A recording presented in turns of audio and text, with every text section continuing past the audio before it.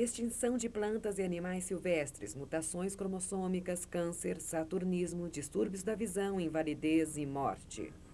Estas são algumas das consequências mais dramáticas da concentração excessiva de poluentes nos alimentos. Entre eles, os inseticidas, o mercúrio, o chumbo, o petróleo e os elementos radioativos. Foi possível que os materiais tóxicos se acumulassem dessa maneira, mesmo com a existência de leis de proteção ambiental?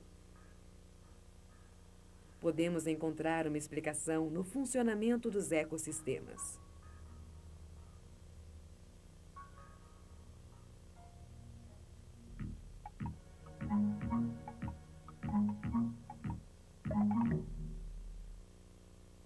Um ecossistema é habitado por seres vivos que se alimentam uns dos outros. Dentro dessa grande cadeia alimentar se encontram cadeias menores.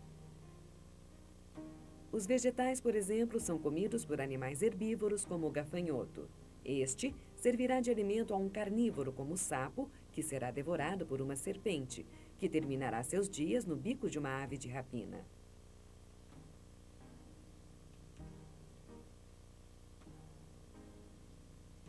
É fundamental que as plantas e gafanhotos base dessa cadeia alimentar existam em número suficiente para alimentar os elos seguintes. Ao encontrar poluentes em seu alimento, um ser vivo pode digerir, eliminar ou armazenar essas substâncias. Se concentrar elementos tóxicos em sua gordura, por exemplo, vai se tornar perigoso para os níveis superiores da cadeia alimentar. Os produtos tóxicos incorporados à cadeia alimentar podem concentrar-se mais a cada nível, atingir quantidades consideráveis nos elos superiores. Como exemplo desse fenômeno, temos o que ocorreu na Baía de Minamata, no Japão. A quantidade de mercúrio na água do mar não ultrapassava os limites permitidos, mas a cada elo da cadeia alimentar, algas, plâncton, crustáceos, peixes, o mercúrio se tornava mais concentrado. Nos níveis superiores, atingiu teores 500 mil vezes maiores que o da água. As consequências disso foram trágicas. Muitas pessoas que comeram peixes capturados nessa baía morreram ou ficaram inválidas.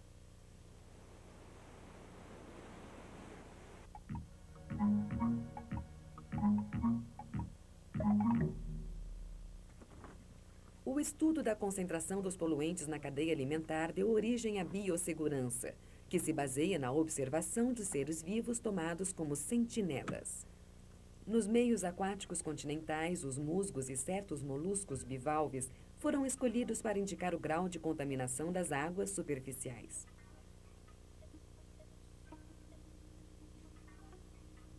A biossegurança completa assim o conjunto de recursos que o homem vai descobrindo para controlar a saúde dos ecossistemas. Ela é fundamental para a preservação de certos recursos, dos quais a água é um dos elementos principais.